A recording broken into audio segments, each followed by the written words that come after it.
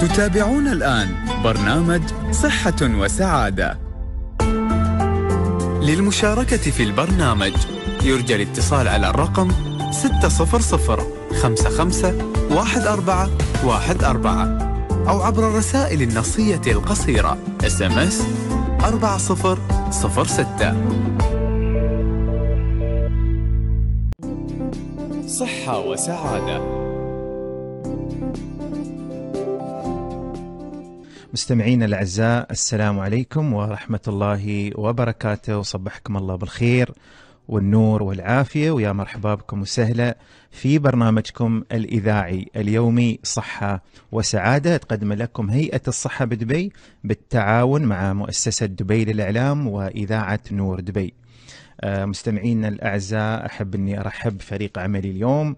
معنا في التنسيق والمتابعة الأستاذ محمد عمر والإعداد أستاذ يوسف سعد ومخرجنا المتألق دائما الأستاذ أيمن سرحيل صباح الخير.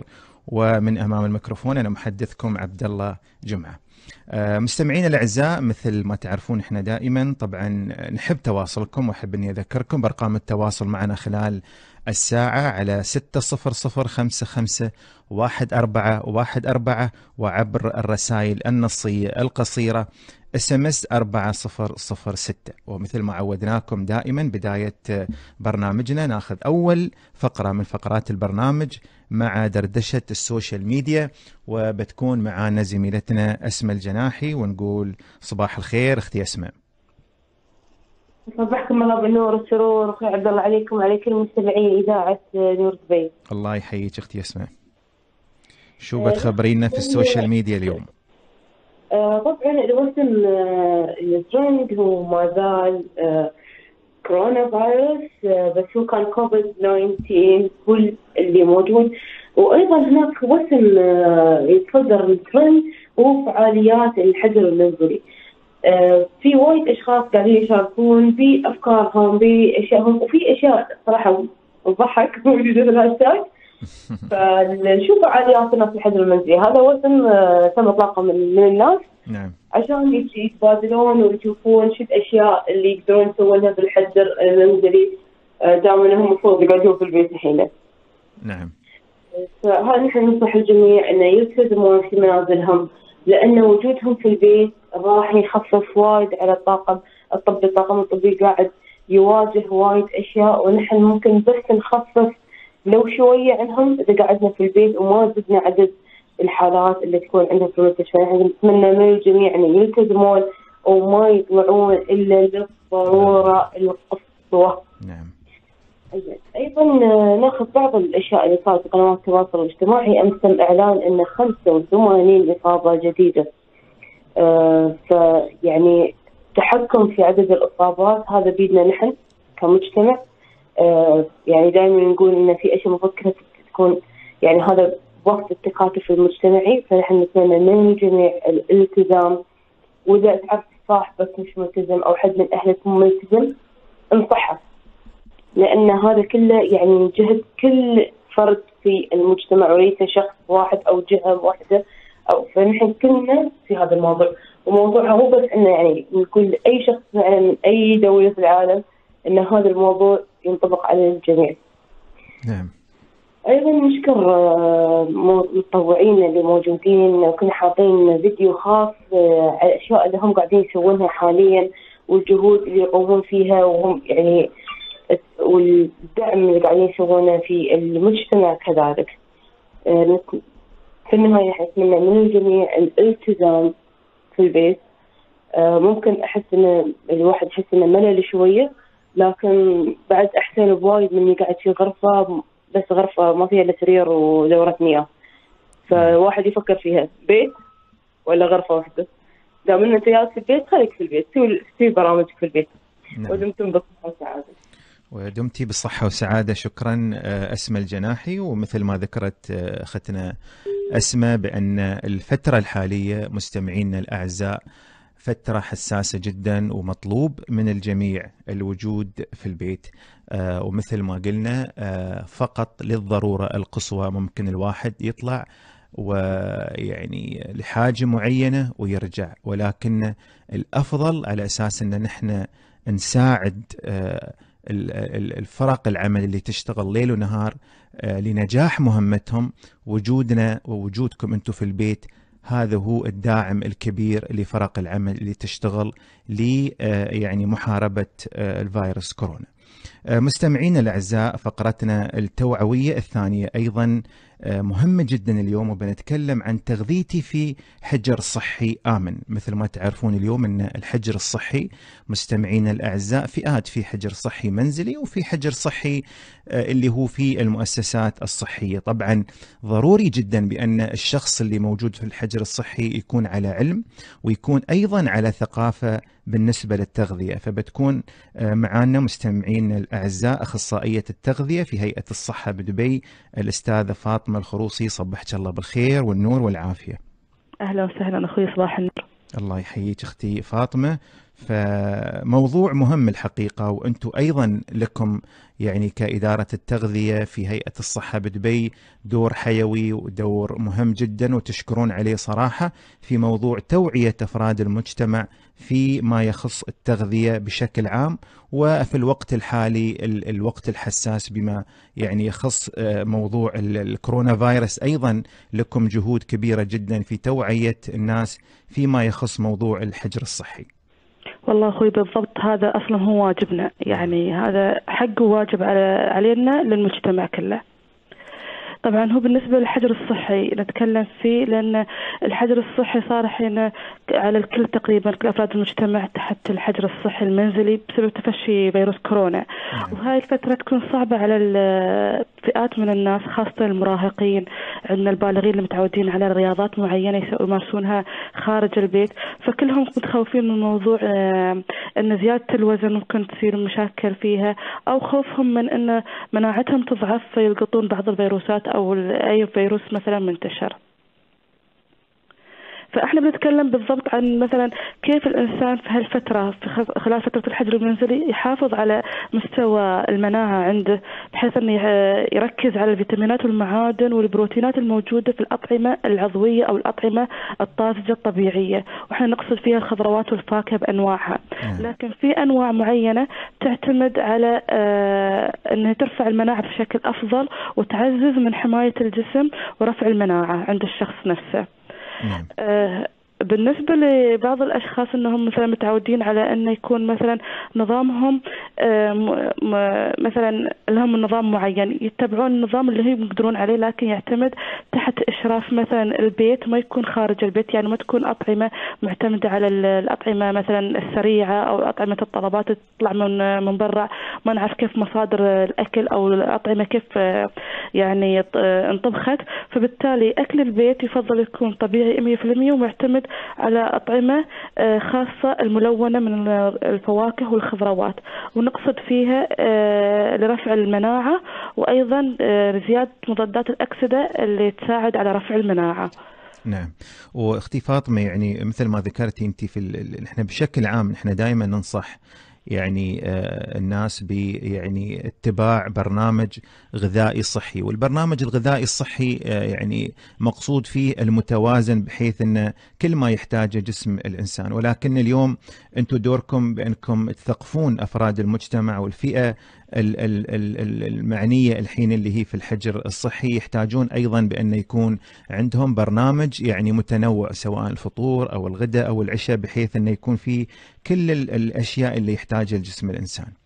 هي طبعا الأطعمة اللي المفروض يركزون عليها بالذات خاصة الناس اللي هم في الحجر الصحي تعتمد على الفيتامينات اللي هو فيتامين ألف وباء وسي وهاي الفيتامينات تقلل من خطر الإصابة بالأمراض وتساعد على مكافحة الالتهابات.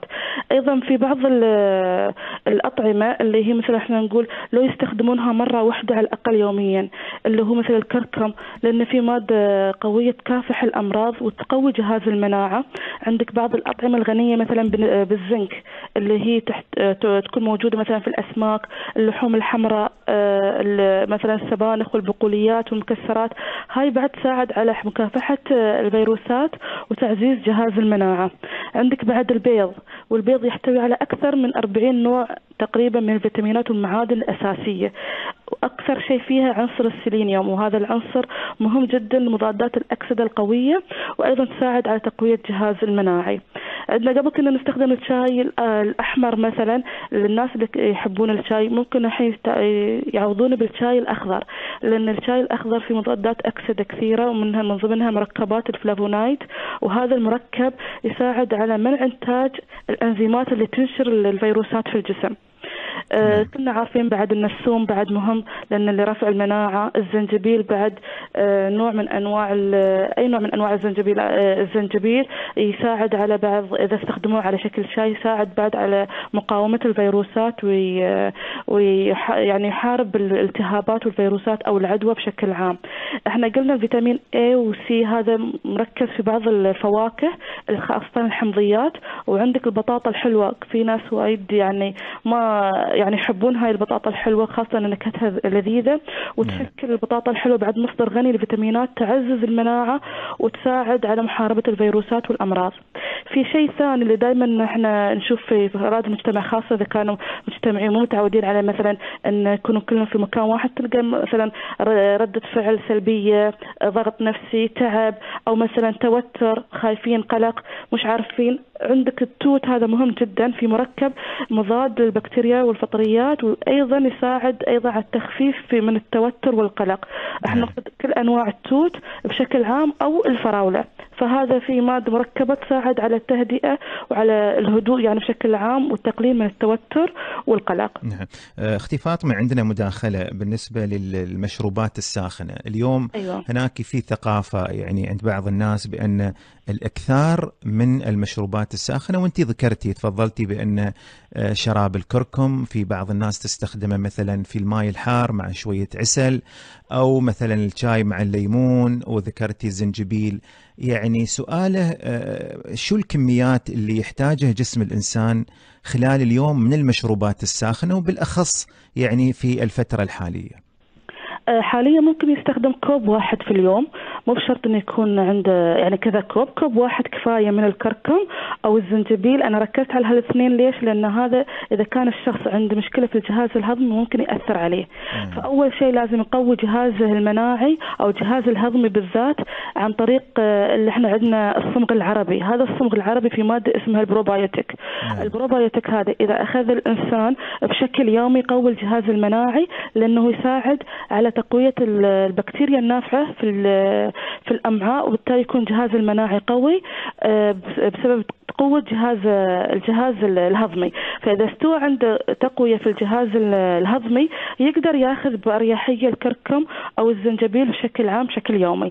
أما الأشخاص اللي دائما يعانون من مشاكل في الجهاز الهضمي ممكن ياخذونه مرة إلى ثلاث إلى مرتين في الأسبوع. نعم. وهذا أيضا أختي فاطمة ضروري يعني الثقافة العامة وايد مهمة بحيث أن مثل ما ذكرتي أن يعني المشروبات الساخنة مهمة ويمكن خلال الفترة هاي أيضا مهمة ولكن الإنسان مفروض أنه يسوي نوع من التوازن مثلا الصبح ياخذ له كوب يعني مثلا مع عسل وزنجبيل الظهر مثلا آه، شاي مع عسل والمساء مثلا كركم بحيث إنه ما يكون في زيادة في نسبة السوائل أو هاي المشروبات الساخنة في الجسم.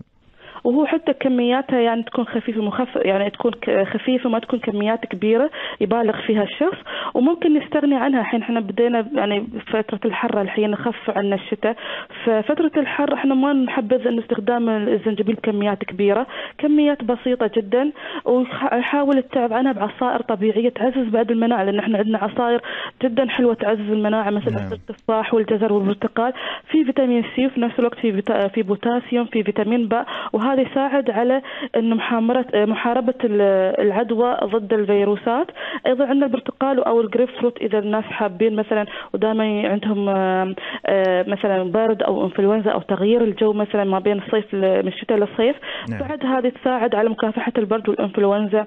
عندك بعد المانجو أو خليط مثلا الكيوي والفراولة والنعناع لأن فيه فيتامين سي وحمض الفوليك وهذا أيضا يعزز آه، من تقوية الجهاز المناعي ويحارب بعد العدوى أو الالتهابات عندك بعد عصير الطماطم. بعد مهم في تنظيم حركة الامعاء ومقاومة آه، الأمراض ورفع آه، وتعزيز جهاز المناعي. نعم. عندك الليمون والزنجبيل بعد هذا حلو. إذا استخدموه بكميات آه، مخففة. آه، أيضا عندك مشروب التمر الهندي. هذا دائما ينسونه في كثير من ال- الم- المجتمعات يعني. وهذا مهم جدا للعلاج آه، الناس اللي عندهم ارتفاع في ضغط الدم نعم. وإزالة الغازات إذا كان عندهم مشاكل تربكات معوية. وأيضا تقوي الجهاز التنفسي وتساعد على آه، زيادة مركبات أو المضادات الحيوية في الجسم اللي تقتل البكتيريا والفيروسات. نعم. أيضا عندك مشروب العرقسوس بعد يساعد على تخفيف أو يقوي الجهن- الجهاز المناعي ومضاد للفيروسات أيضا. نعم. آه، أختي فاطمة الخروصي آه، أخصائية التغذية في هيئة الصحة بدبي كل الشكر والتقدير لك وكل الشكر لهالمعلومات القيمة ويعطيك ألف عافية. الله يعافيك شكرا مع السلامة. الله يحييك. مستمعينا الأعزاء بنطلع وياكم فاصل قصير وبعد ما نرجع من الفاصل بتكون معنا الدكتورة نسيم محمد رفيع مدير إدارة الصحة العامة بهيئة ببلدية دبي وبتحدثنا عن الإجراءات الاحترازية والتوعوية اللي اتخذتها بلدية دبي في موضوع توعية العمال في أماكن العمل. ففاصل فاصل إن شاء الله وراجعين. صحة وسعادة. مستمعينا الأعزاء آه، يا مرحبا بكم وسهلا. مرة ثانية رجعنا لكم وأحب إني أرحب بكل من انضم إلينا. وأيضا أذكركم بأرقام التواصل معنا خلال الفترة على 600 551414 وعبر الرسائل النصية القصيرة 4006 آه، مستمعينا الأعزاء رسالتنا لهذا اليوم تقول إن أكثر الفئات العمرية عرضة للإصابة بالكورونا فيروس آه، هم كبار السن والمرضى الذين يعانون من حالات طبية أو مرضية مزمنة ومنظمة الصحة العالمية وكافة المؤسسات الصحية في العالم تنصح هذه الفئة بالبقاء في المنازل قدر المستطاع وعدم الاقتراب من المرضى الذين تبدو عليهم بعض أعراض أو تشبه أعراض الإنفلونزا العادية. مع أهمية الالتزام بتنظيف اليدين بصورة منتظمة بالماء والصابون لمدة 20 ثانية على الأقل وخاصة بعد تنظيف الأنف والسعال والعطس أو بعد زيارة الأماكن العامة وفي حال عدم توافر الماء والصابون استخدام منظف اليدين الذي يحتوي على كحول بنسبة 60%. مستمعينا الأعزاء بتكون معنا ضيفة الدكتورة آه، نسيم محمد رفيع مدير إدارة الصحة العامة ببلدية دبي ومثل ما تعرفون إن بلدية دبي لهم جهود كبيرة جدا في موضوع الإجراءات الاحترازية والتوعوية الخاصة بفئة العمال سواء في أماكن العمل أو أماكن السكن. دكتورة نسيم صبحت الله بالخير والنور والعافية. هلا ومرحبا فيكم. عساكم بخير والعافية إن شاء الله. الله يحييك دكتورة نسيم. نشكرك صراحة على وجودك معنا اليوم في برنامج صحة وسعادة اللي تقدمه هيئة الصحة بدبي. وأيضا نشكر جهودكم الكبيرة الحقيقة في موضوع الإجراءات التوعوية والإجراءات الاحترازية الخاصة بفئة مهمة جدا اللي هم فئة العمال سواء في أماكن عملهم أو في أماكن آه، السكن. لو تخبرينا دكتورة نسيم الإجراءات اللي قمتوا فيها. في البداية أنا أشكركم أشكركم باسم بلدية دبي. آه، دوركم جدا مهم في توعية الجمهور وجميع أفراد وشرائح المجتمع وجزاكم الله ألف خير أن أنتم آه، يعني دعيتونا بهال في هال خلينا نقول المحاورة هذا. نعم. نحن في بلدية دبي آه، عندنا برنامج اللي هو التطهير والتعقيم. نعم آه، من بعد الأزمة اللي يعني خلينا نقول الوضع الراهن والاجراءات الاحترازية على بشكل عاجل جدا سوينا مراحل الاستعداد عندنا في البلدية إن البلدية شو هي لازم آه، خلينا نقول شو مهامنا بتكون آه، لجميع المؤسسات آه، وبالأخص آه، المساكن العمالية. نعم كان كان عندنا برنامج تفتيش روتيني ودوم هذا البرنامج كان موجود ولكن الوضع الراهن الحين إن لازم عمليات التطهير والتعقيم وحتى التنظيف لازم تكون دورية لها أكثر تكثيف أكثر. فخلال الفترة هاي نحن حتى شكلنا فريق بالتنسيق مع الجهات الحكومية شركائنا الاستراتيجيين الدفاع المدني وحتى اللجنة الدائمة لشؤون العمال وبالتنسيق مع شرطة دبي وجميع الجهات ال- ال- المعنية. نعم. آه، شكلنا فريق تم آه، عندنا عدد كبير من سكنات العمال فوق 3000 سكن آه، في الإمارة. فالبرنامج كان إن نحن نركز على محاور أساسية إحنا نسميها يعني في محاور التفتيش مثل محاور العادية كتنظيف وهالأشياء نحن اليوم نركز عليها ولكن التركيز الأكبر يكون على التطوير والتعقيم الدوري آه، والمستمر لمرافق السكن. آه لازم مثلا على سبيل المثال أول شيء بنشوف الجزئية اللي هي النظافه الشخصية يعني يكون مثلا السائل اللي هي الصابون غسيل الأيدي آه، المعقمات والمطهرات لازم تكون متوفرة في الممرات وفي مداخل السكنات العمال. نعم. بعض معد- معدات الحماية الشخصية خصوصا لعمال التنظيف المفترض أنها تكون متوفرة. آه، أدوات اللي فحص الحرارة يعني لازم ميزان فحص الحرارة للأفراد. إحنا طبقنا هذا الشيء. انه قبل ما الأفراد ال- العمال يغادرون السكن لازم نحن عندنا مشرف صحي نعم. واجد. يعني هو مشرف صحي تابع للسكن روح سكن العمال. وفي متابعة من قبل مفتشينا نحن. نعم. بالتنسيق مع شركائنا أكيد. فبيكون في مثل آم، هي مبادرات سويناها إن نفحص مثلا درجة حرارة ال- العامل قبل مغادرة السكن. آه وعند العودة يعني بعد ما يرجع من الدوام عنده بعد مره يفحصون الباصات اللي جالسه تنقلهم من وإلى السكن. كل الباصات كل يوم لازم تتعقم. آه جميع عمليات التعقيم والتطهير تكون بإشراف بلدية دبي في حال في حال ان في بعض بعض السكنات يمكن خلينا نقول إن الأوضاع عندها شوية آه، النظافه متدنية فهني نعم. نحن نتدخل حتى ممكن إن نحن الطاقم الموجود عندنا هم اللي يعقمون السكن في حال وجود شبهة يعني واحد كان درجة حرارته عالية جدا إحنا اليوم آه، طبقنا هالشيء إن جميع سكنات العمال لازم عندهم على الأقل غرفة أو أكثر حسب المساحة نعم. الموجودة وحسب حجم ال- يعني ال- ال- المكان إنه يكون في مثل عزل على أساس إنه بشكل مؤقت لحين إبلاغ الجهات المختصة عشان يسوون الفحوصات ولين ما تظهر النتائج، فهاي ال- ال- الإجراءات الاحترازية نحن بالأخص خذيناها مع آه، هيئة الصحة مع ال- مع هيئة الصحة وأيضا مع الجهات ال- نعم. الأخرى مثل ما ذكرتم سابقا نعم آه، لسكنات العمال. نعم آه، دكتورة نسيم الحقيقة يعني آه، جهود كبيرة تقدمها بلدية دبي للجانب المهم بالنسبة للعمال سواء يعني في أماكن عملهم أو حتى في أماكن السكن وأنت ذكرتي أن يعني الموضوع أصبح ليس يعني لا يقتصر فقط على جانب معين ولكنكم أنتم أخذتوا الموضوع يعني شمولي المساكن العمل الباصات كل الأمور اللي تخص آه، العمال. الدكتورة نسيم محمد رفيع مدير إدارة الصحة العامة بلدية دبي شكرا لك وشكرا لوجودك معنا اليوم وإن شاء الله يومك سعيد. شكرا. كل الشكر لكم أنتم. الله يحييك. مستمعينا الأعزاء بناخذ وياكم إن شاء الله فاصل. آه، قصير إن شاء الله وراجعين وبتكون معنا إن شاء الله ضيفه الدكتور عهد شاهين استشاري طب الأسرة بهيئة الصحة بدبي وبنتكلم أكثر عن التوعية الخاصة للكورونا فيروس. فخلكم ويانا إن شاء الله فاصل وراجعين. صحة وسعادة. آه،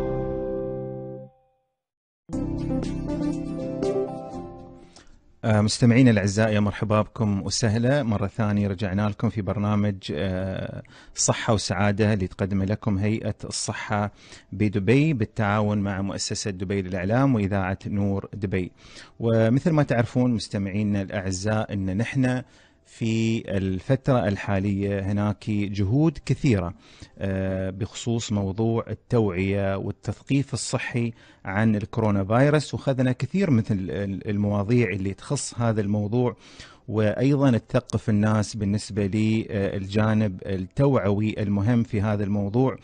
وأيضا آه، تحدثنا عن فئة كبار السن أهمية وجودهم في البيت وعدم الخروج من البيت إلا للضرورة القصوى. آه، مستمعينا الأعزاء بتكون معنا فقرتنا الحالية آه، الدكتورة عهد شاهين استشاري طب الأسرة بهيئة الصحة بدبي، طبعا تعتبر يعني التوعية والتثقيف الصحي من أهم الوسائل آه، الناجحة للوقاية من الأمراض المختلفة بما فيها طبعا الكورونا فيروس المستجد الذي مثل ما تعرفون يتميز بسرعة الانتشار بين أفراد المجتمع وهو طبعا الأمر الذي يتطلب الأخذ بكافة الوسائل الوقائية والاحترازية لتفادي الإصابة بالمرض ونقله بين أفراد المجتمع. آه، للحديث عن هذا الموضوع وطرق الوقاية معنا الدكتورة عهد شاهين استشاري طب الأسرة بهيئة الصحة بدبي. دكتورة عهد صبحك الله بالخير والنور والعافية. صباح النور والسرور وعساكم كلكم صحة وعافية إن شاء الله. الله يحييك دكتورة. نحن طبعا يعني شاكرين لكم الحقيقة جهودكم الكبيرة اللي تقومون بها في موضوع التوعية وطبعا التوعية يعني متفرع بكثير من من الجوانب التوعية بالنسبة لل يعني أماكن العمل، التغذية، التوعية بالنسبة لانتشار المرض عن آليته وكيف ينتشر وكيف الوقاية منه، فكل الشكر والتقدير لكم دكتوره عهد. نتكلم مع الله يبارك فيك، نتكلم معاك اليوم عن آه، يعني الكورونا فيروس. الحديث هناك عن مختلف عن موضوع حضانة الفيروس هذا وأعراضه دكتورة. آه، أول شيء مرض الكوفيد 19 هو نعم. الفيروس الكوفيد. آه، طبعا هو فترة الحضانة تكون 14 يوم. آه، أعراضه مشابهة لأعراض مرض الإنفلونزا. طبعا تبدأ من التهاب الحلق الرشح السعال الجاف ممكن في حالات الحمى الصداع نعم. آه ممكن يتطور إلى ضيق للنفس آه وجع في الجسم أو الإسهال فهي تكون أعراض مختلفة فالشخص اللي يكون آه حاسب هالأعراض مثلا جاي من السفر أو مخالط لشخص آخر طبعا لازم يتوجه لنا للمراكز الصحية والمنشآت الصحية لعمل الفحوصات اللازمة. نعم دكتورة أيضا يعني هناك الكثير طبعا من ال ال ال يعني التوصية بوجود آه، الناس في البيوت. وأيضا تحدثنا نحن كثير عن موضوع أهمية التباعد. لو تكلمينا دكتور أهمية التباعد الاجتماعي آه، في الاستراتيجيات الوقائية الوقائية من هذا المرض.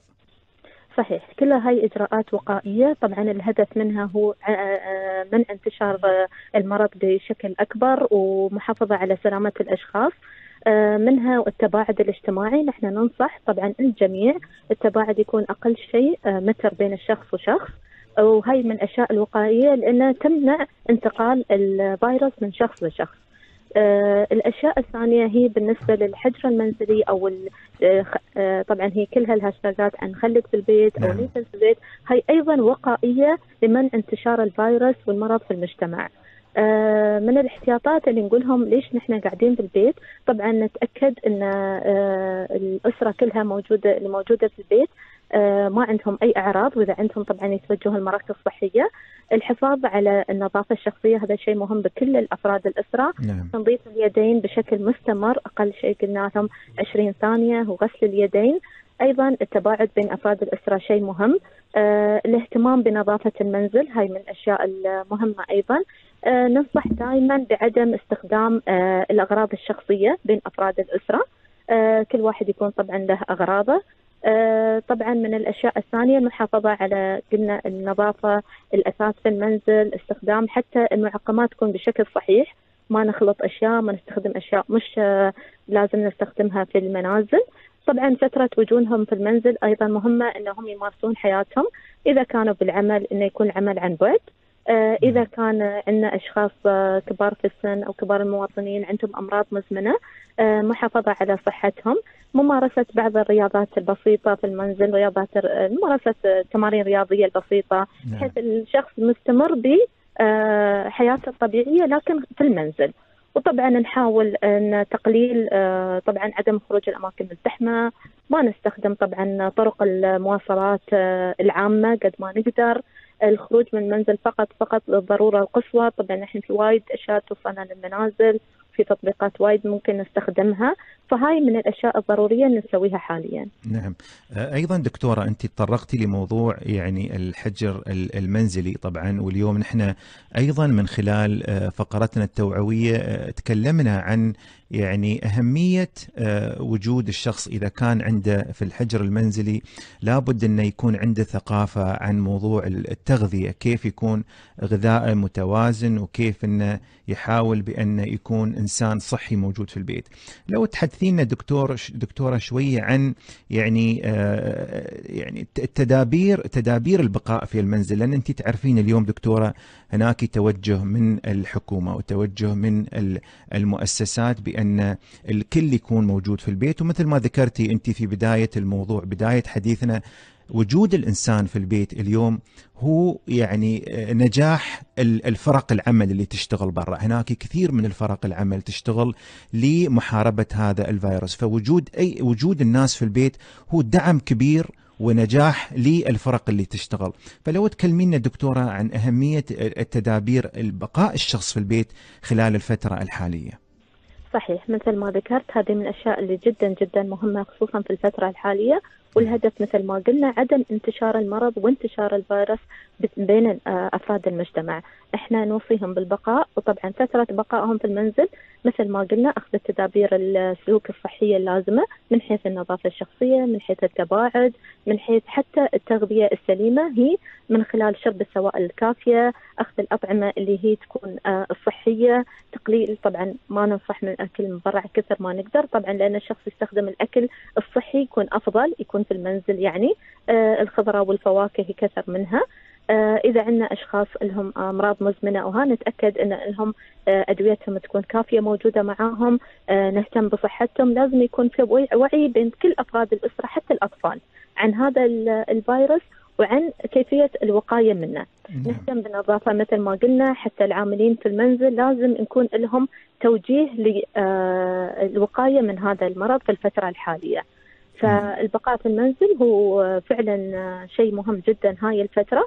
ومثل ما قلنا أخذ التدابير كلها اللازمة من حيث النظافة من حيث التباعد حتى بين الأسر وحتى إحنا ما ننصح حاليا بالتجمعات بين الأسر. يعني إذا عندهم كانوا يجتمعون في يوم معين يعني التقليل أو التباعد يكون أفضل في الفترة الحالية ويكون كل واحد موجود يعني في منزله وممكن نحن نتواصل طبعا طرق التواصل الاجتماعي جدا الحين متوفرة ف نحن ننصح بهالشيء بعد في الوقت الحالي.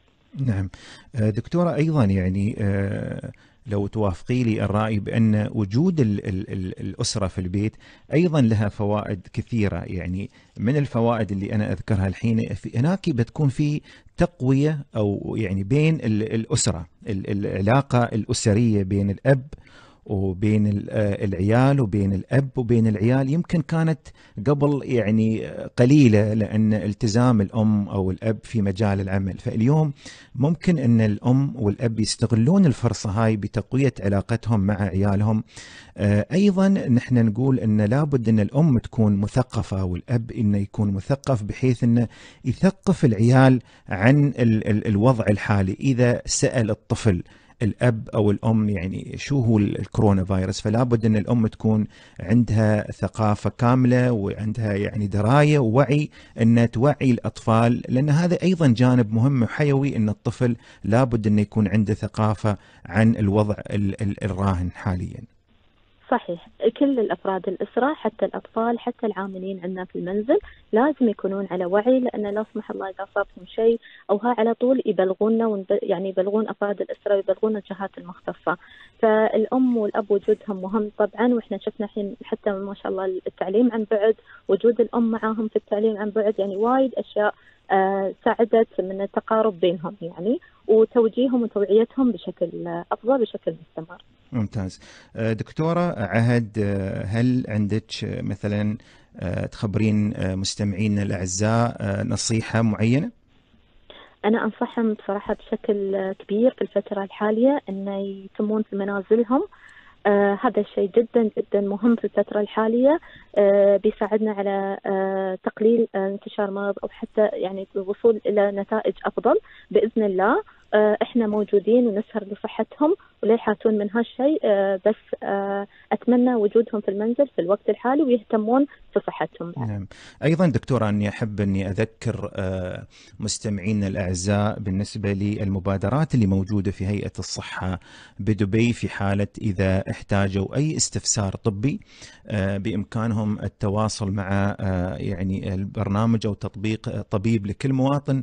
ومثل ما تعرفين دكتورة إن البرنامج هذا حيوي وموجود 24 ساعة وممكن أن يتم الرد على جميع الاستفسارات اللي يحتاجونها خلال فترة وجودهم في المنزل.